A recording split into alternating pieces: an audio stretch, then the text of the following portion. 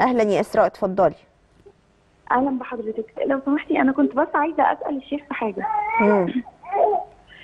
إيه أنا ببقى بصلي يعني أو مش بصلي في العموم ببقى مثلا قاعدة بحس. أعوذ بالله بحس. بكلام غلط بيتقال في دماغي أنا مش عارفة أنا اللي بقول الكلام ده ولا وسوسه شيطان. يعني ممكن أبقى مثلا بصلي ومركزة في الصلاة وبقول القرآن وفي كلام وحش قوي بيجي في دماغي يعني ده بيجي أثناء الصلاة بس يا إسراء لا في العموم يعني ممكن أبقى قاعدة كده وأعوذ بالله ألاقي مثلا شتيمة جت في دماغي سيئة جدا وأقعد أستعيذ بالله وأقول حاشا لله بس ما أعرفش ليه. ده يعني بتجي لي كتير الحالة دي ما أعرفش ليه. ده بقالك قد إيه؟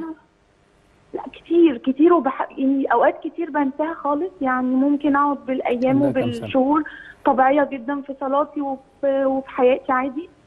وساعات ألاقي مرة واحدة جت على دماغي حاجة وحشة جدا. اقعد أقول يا رب يكون ده شيطان. مش أنا اللي بقول كده. عندك كام سنة يا إسراء؟ 24 ماشي يا إسراء حاضر. طيب إسراء بقى بيجي لها صوت في ودانها. هل ده وسواس قهري ننصحها عندنا نوعين من ولا إيه؟ الوساوس في وسواس من الشيطان وفي وسواس من النفس. أما الوسواس الذي هو من الشيطان إذا قال الإنسان أستعيذ أعوذ بالله من الشيطان الرجيم انصرف عنه. آه. خلاص ده راح بسهولة. لأن ما يقدرش يعني. اما الوسواس الآخر هو وسواس النفس اللي هو يسمى الوسواس القهري الذي يقهر الإنسان في توصيل ما يريد أن يصل إليه.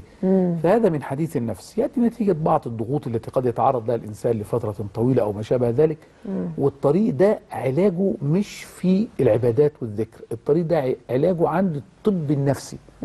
لأن هو هيقدر يعرف إيه الأسباب التي أدت إلى هذا النوع من حديث النفس عن طريق الوسوسه القهرية فيما إذا كان ده ضغوط نفسية أو عصبية أو بعض الأمراض العصبية التي قد تحدث طيب يبقى إحنا وهكذا. نب- نبدأ الأول بوصفة دينية إذا لم آه، آه، يعني ما جابتش نتيجة ما نروح للطب نروح. للطب فإيه الوصفة بقى ممكن- الدينية إن هي تقول أعوذ بالله السميع العليم من الشيطان الرجيم من نفخه ونفثه وهمزه آه. ثلاث مرات أعوذ بالله السميع العليم من, من الشيطان الشيطان. الرجيم من نفخه ونفثه وهمزه آه. أي واحدة من الثلاثة بقى ينفث في ودني أو يعمل كذا أو كذا فإحنا بنستعيذ بالله من هذا.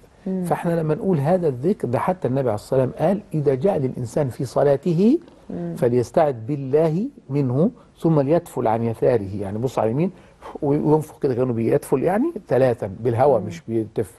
تمام كده؟ ثلاثا. ده إذا جاء للإنسان في حال الصلاة فهذا شيطان يقال له خنزب كما سماه النبي عليه الصلاة والسلام يأتي للإنسان في أثناء صلاته.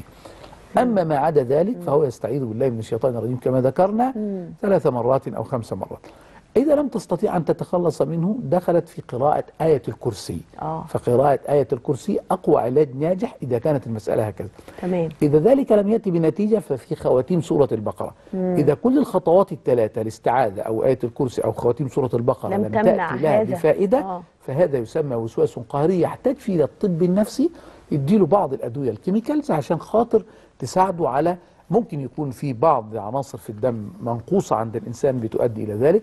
ممكن يكون الجهاز العصبي لعند الإنسان في بعض أمراض عصبية تحتاج إلى علاج وهذا يعرفه المتخصصون في العلم.